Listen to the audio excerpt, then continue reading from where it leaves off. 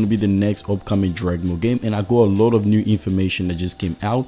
This is one of the main reasons why I didn't want to upload so early about this game because I was waiting for new information to come out. As you guys can see right there, the producer or the developer for this game will be Dimps and they also confirmed that this new Dragon Ball game will be uh, working alongside Dragon Ball Xenoverse. So because Dimps are the developer for Xenoverse 2 and also Dragon Ball Breakers, that means all your save files, all your save stuff you done on Xenoverse will be transferred and carried over to this game. Now, what does that mean?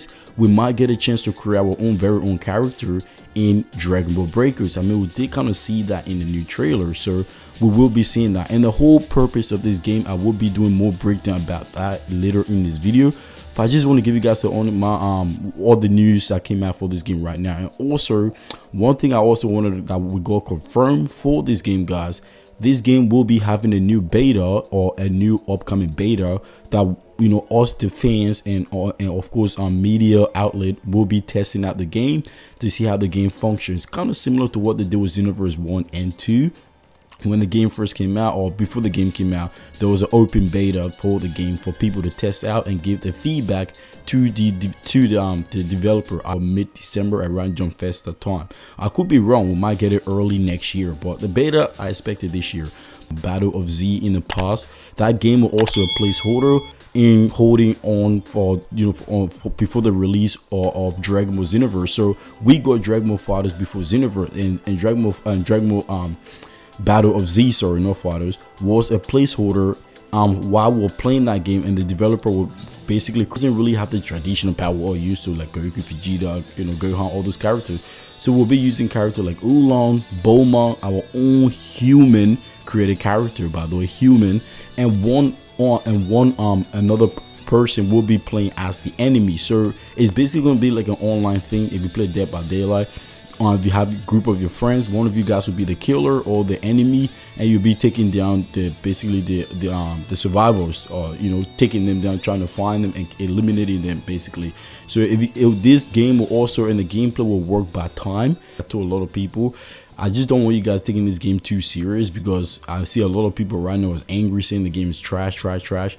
The purpose of this game is meant to be a placeholder, guys. I don't know why everyone taking this game too serious. It's a freaking placeholder for us to play this game until the actual main game can get released later on in 2022 2023 so please keep that in mind. And by the way this game is like a xenoverse 2.0 because the same developer are the one developing this game and is going to be using some few save data from xenoverse implemented into this game i.e they create a character and some few um stuff. And also while we're fighting this enemy the new mode is actually called raid battle or raid mode. I don't know what that means but it means we're going to be going up against enemy. And by the way guys this game i see them making this game the way the gameplay work and all the feature we're going to be getting and dlc whatever will be similar to games like fortnite. So every month or so we will get a new release of an enemy and we'll have to buy that off the PlayStation Store, Xbox, or PC Store, wherever.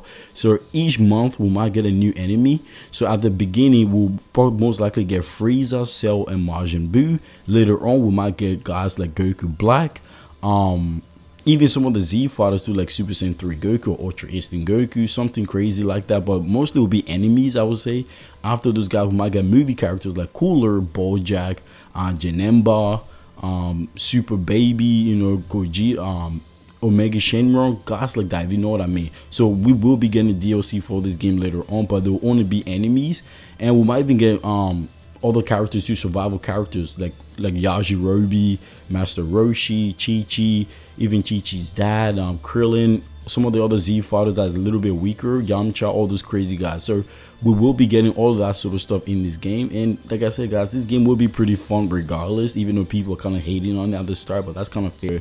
If you guys remember that game, that's something similar to this one here too. So yeah, so we'll be getting the release of this game in 2022 and the closed beta will, or the open beta or the beta for this game will be released sometime this year or early next year so keep an eye on that guys and please subscribe to the channel because i will be keeping you guys updated on everything about this game we, at the moment we're going to be getting more and more new information we just got new information from the game developer and producer stating that all the save files you got from Xenoverse will be transferred over to this game. So that is pretty cool, I guess, you know.